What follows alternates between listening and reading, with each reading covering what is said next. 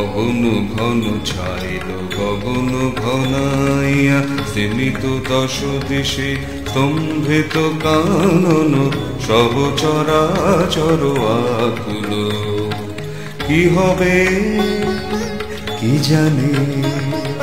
ঘোরা রজনী দিক ললনা ভয় বিভলা গহন ঘন ছাইল গগন ঘনাইয়া সীমিত দশ দিশে স্তম্ভিত কানন, সব চরাচর আকুল। কি হবে, কি জানে? ঘোরা রজনী দিক ললনা ভয় বিভলা, গগন ঘন ছাইল, গগন ঘনাইয়া।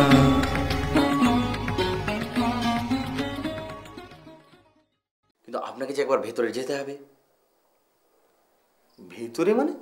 কেন? উনি একবার আপনাকে ডাকছেন আমায় তুমি ডেকেছো কমলা? কই? না তো?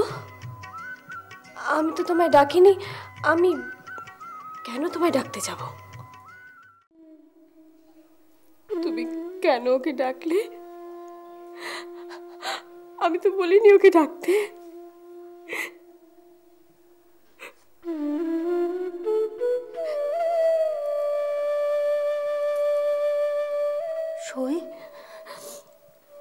তোমার ভারী অন্যায়। বাড়িটা কেমন লাগছে বৌমা? ভীষণ ভালো। তবে কি না কেমন যেন অগোছালো।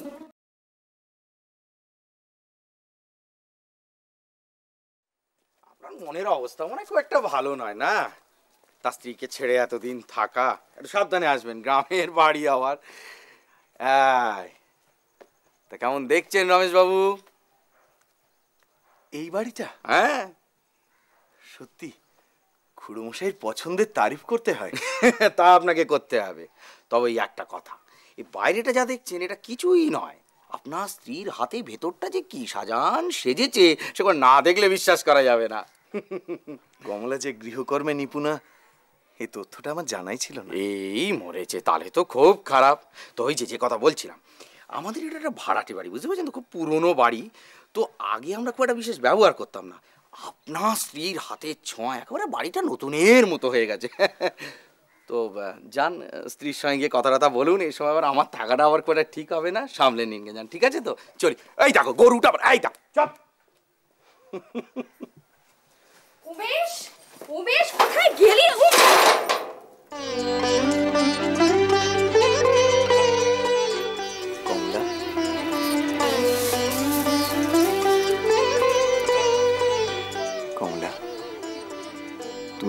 পরিশ্রম করছ?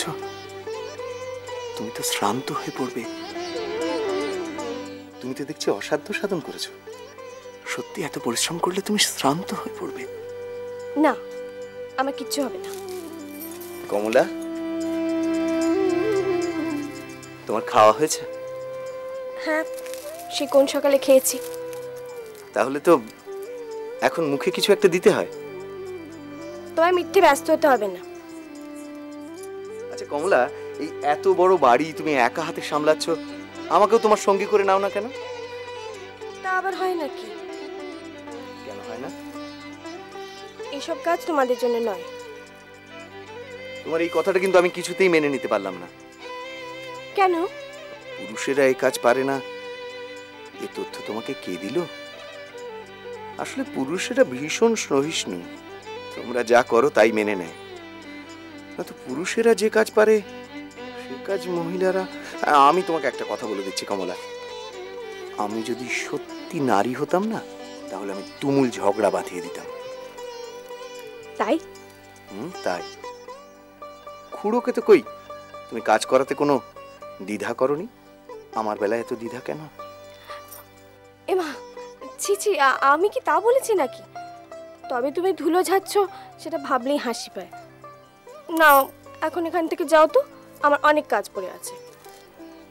ধুলো কিন্তু মানুষ বিচার করে না। ধুলো যদি তোমারও লাগে ধুলো তবে আমারও লাগবে কমলা।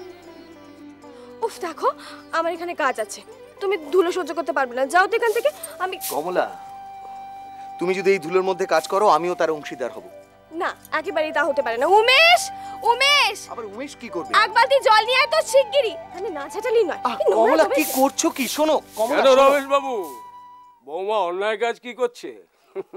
এদিকে আপনারা ইংরেজি পড়ে মুখে সাম্যের কথা প্রচার করে থাকেন অথচ ঝাড় দেওয়ার কাজটাকে নিচ মনে করেন।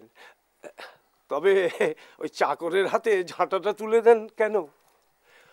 আমি মশাই মূর্খ। তবে আমাকে যদি জিজ্ঞাসা করেন তাহলে আমি বলব মায়ের হাতের ওই ঝাঁটার প্রত্যেকটি কাঠি সূর্যের রশ্মি ছটার মতো আমার কাছে উজ্জ্বলটাকে মা ঠাকুরুন জল এনেছি। কোথায় ঢালবো? এখানে রাখ। খুড়োমশাই আপনি একটু ভেতরে গিয়ে বসুন। আমি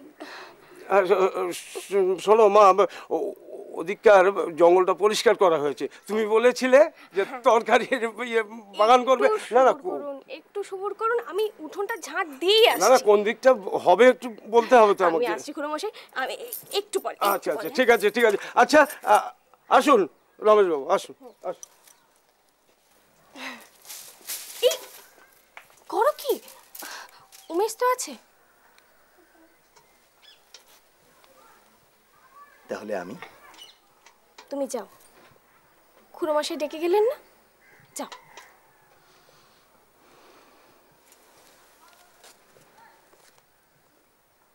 নেউমেশ জল ঢাল।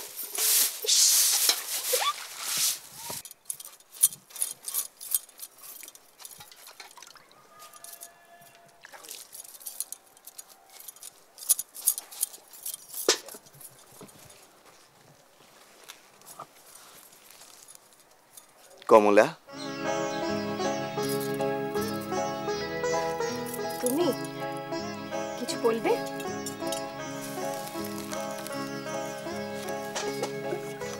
কিছু না বললে বুঝি তোমার কাছে আসতে পারি না? সত্যি কমলা আমি ভাবতেই পারি না। তুমি এত সুন্দরভাবে বাড়িটাকে সাজিয়ে তুলবে সংসার গড়ার ব্যাপারটা মেয়েদের সহজাত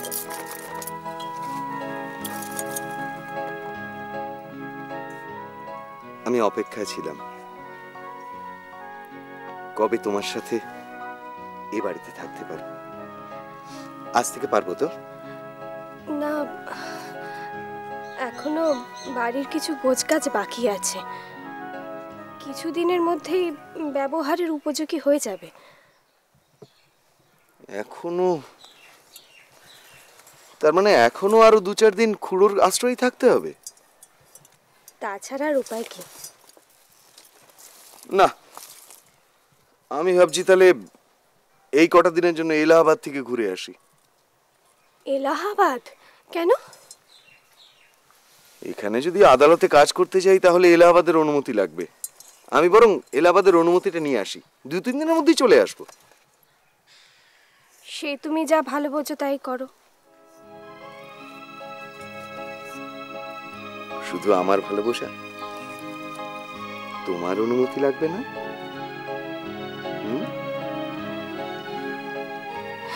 ছাড়ো কেউ দেখে ফেলবে।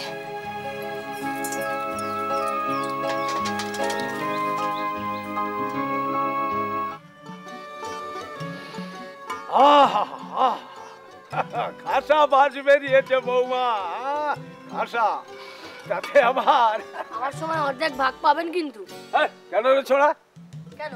বারে আপনিই তো বলেছিলেন। ঘানে ন অর্ধ ভোজনাং। ওরে ছোড়া হ্যাঁ? আমার মানেই আমাকে মারছিস। কেন? তুই গন্ধ পাচ্ছিস না? না সর্দি হয়েছে। সত্যি হয়েছে হ্যাঁ। ঝেড়ে ফেল গন্ধ পাবি। বাবা আচ্ছা। সবাই সমান ভাগ পাবেন এবার খুশি তো? হুম? কিরে তোদের রান্না কত দূর? হ্যাঁ এখন বুঝি আসার সময় হলো। কি করব বল? উনি আপিস গেলেন তারপর তো ফুরসত হলো? হ্যাঁ আমারও এবার ফুরসত হবে। রান্না প্রায় শেষ। খুড়োমশাই আপনারা যান স্নানটা সেরে নিন। উমেশ তুই যা। হ্যাঁ চল আর নদীতে স্নান করে আসব। চল চল চল। দারুণ হয়েছে রে। হুম জল দিতে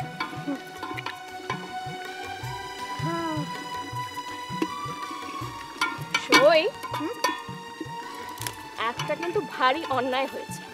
কি রে? বিপিনবাবুকে কিন্তু নিমন্ত্রণ করা উচিত ছিল। তুই কি পাগল হলি? কেন? পাগল হতে যাব কেন?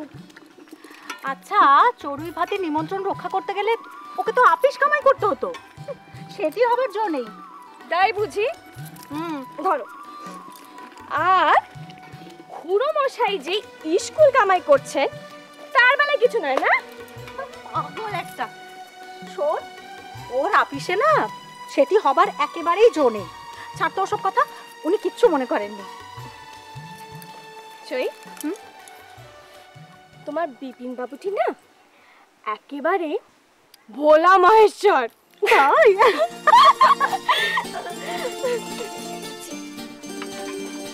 তাড়াতাড়ি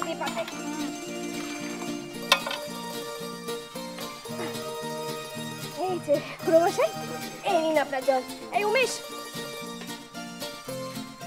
উমেশ? উমেশ কোথায় গেল?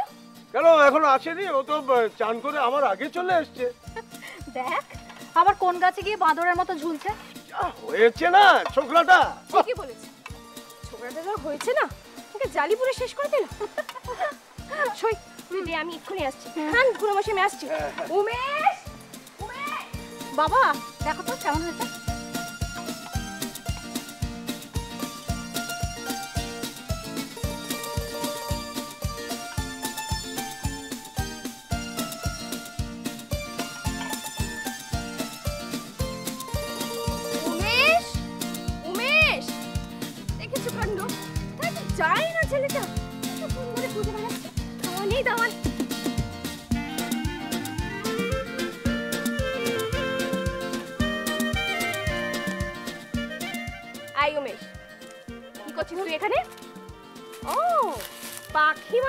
তাই না?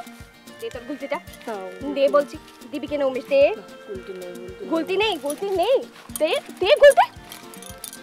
এনে নে তোর গুলতি। হলো চল খেতে যা। আয়। অপূর্ব। আয়, হুম, বস বস এখানে বস। এই কোথায় গেছিলে? হ্যাঁ? উনি পাখি মারছে। বাদর একটা। বাদর মানে হনুমান। আহ, বৌমা। যা হয়েছে না? কি বলব? আরে ভাষায় প্রকাশ করার যোগ্য না। উনি বাপরে বাপ। ভালো লেগেছে ও দারুণ একটু দে নে খা। খা দিয়েছিস? খাও খেতে শুরু করো। খা।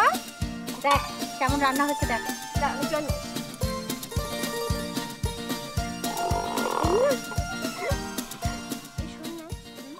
আজকে মনে হচ্ছে খিচুড়িটা একদম ভালো হয়নি বুঝিস তো? তোর না সবেতে বাড়াবে না সত্যি বলছি খিচুড়িটা ভালো হয়নি নুনটা কম পড়েছিল খুব ভালো হয়েছিল তরকারিটা কি সুন্দর হয়েছিল বল হুম, তুই করেছিলিস?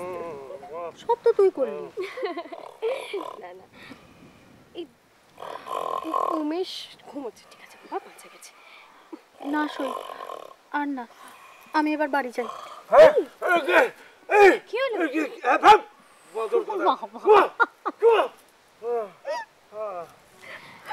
আরে হো?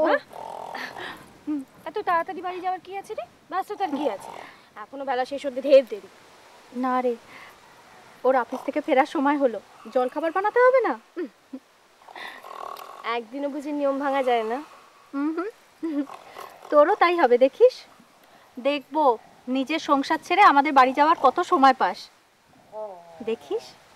ওর অফিস যাওয়ার সময় আর অফিস থেকে ফেরার সময় তোরও কাজের অন্ত থাকবে না। দেখিস মিলিয়ে নিস আমার কথা। দাঁড়া বাবাকে ডাকি গিয়ে। হ্যাঁ চল অনেকক্ষণ ধরে ঘুমোচ্ছে। বাবা? ও বাবা? মশাই। কে? উত্তেজিত হবেন না? আমরা আছি কে এখানে ও হ্যাঁ। ও শৈলমা। চলো বাড়ি যেতে হবে তো। ও হ্যাঁ ছুটে পড়। বাড়ি যেতে হবে ও বেলা পড়ে এসছে বোধ হয়? হ্যাঁ চলো। বেলা পড়ে এসছে তাহলে তো যেতেই হয়। হুম। নাও পড়ো।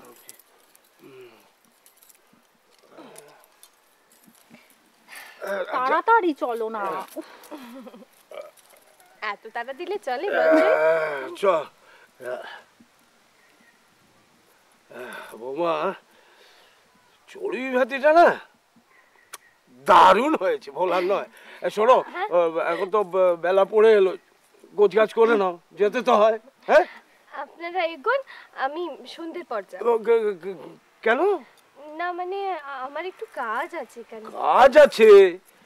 কিন্তু এই সন্ধ্যের সময় একা একা এই এই ছড়া তুই মায়ের সাথে হাতে হাতে কাজ কর যা। চলো না বাবা। যাচ্ছি রে। হ্যাঁ আমি যাবেন কিন্তু। হ্যাঁ আমি শৈলবাগে পৌঁছে দিয়ে আসছি। চল চল মা। যান। কিরে মা ঠাকুর হুম? চলো না নদীর ধারে যাই। না বাবা। যাবি?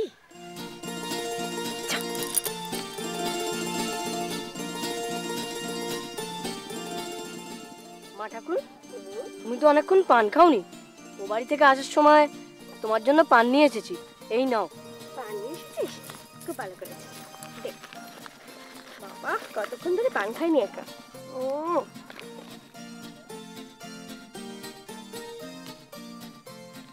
সুচরিতা সু হেমনলিনী একটা কথা অনেক দিন ধরে বলতে চেয়েও তোমায় বলতে পারিনি।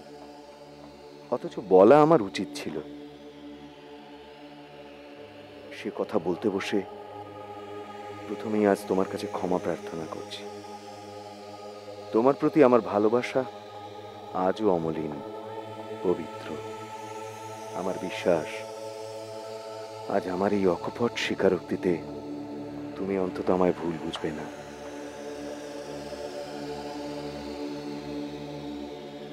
তোমার নিশ্চয়ই মনে আছে, আমার পরীক্ষার শেষে আমার বাবা নিজে এসে আমাকে দেশের বাড়িতে নিয়ে গেলেন। তার কারণ তিনি আমার বিবাহ স্থির করেছিলেন। অপারগ হয়ে সে বিবাহ আমাকে করতেই হয়। কিন্তু দৈবের দুর্বিপাকে বিবাহের পর দেশে ফেরার পথে নৌকাডুবিতে সকলকেই হারাতে হয়। আমি কেমন করে যে প্রাণে বেঁচে গেছিলাম, তা ভগবানই জানেন। নদীর পারে জ্ঞান ফেরার পরে এক নববধূকে আবিষ্কার করি। প্রসঙ্গক্রমে বলা ভালো, এ বিবাহে আমার সম্মতি না থাকায় আমি বিবাহ আসরে বা পরে নববধূর মুখ দেখিনি। তাই একেই নববধূ বলে ভেবে ঘরে ফিরে আসি।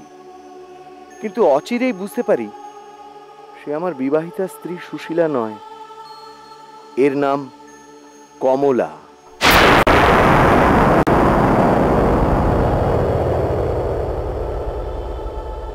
একে নিয়ে ভীষণ বিপদে পড়ি। অনেক খোঁজ খবর করেও এর কোনো আত্মীয়ের সন্ধান পাইনি। তাকে ফেলে দিতেও পারিনি।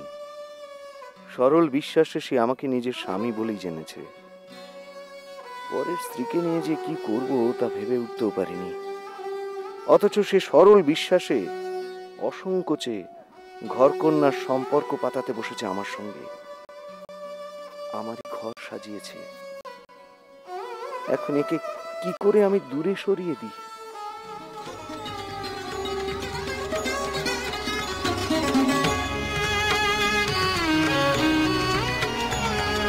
চমকে চমকে সহসাদি কয়জনে চকিতে চকিতে মাতি ছুটিল বিজলি।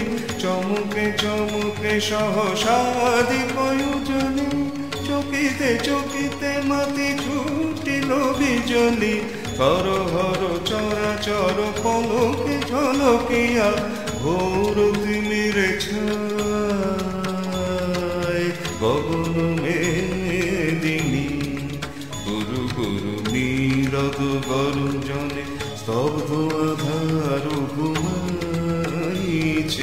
সহসায় উঠিল জেগে প্রচণ্ড সমীরণ, সহসায় উঠিল জেগে প্রচণ্ড সমীরণ।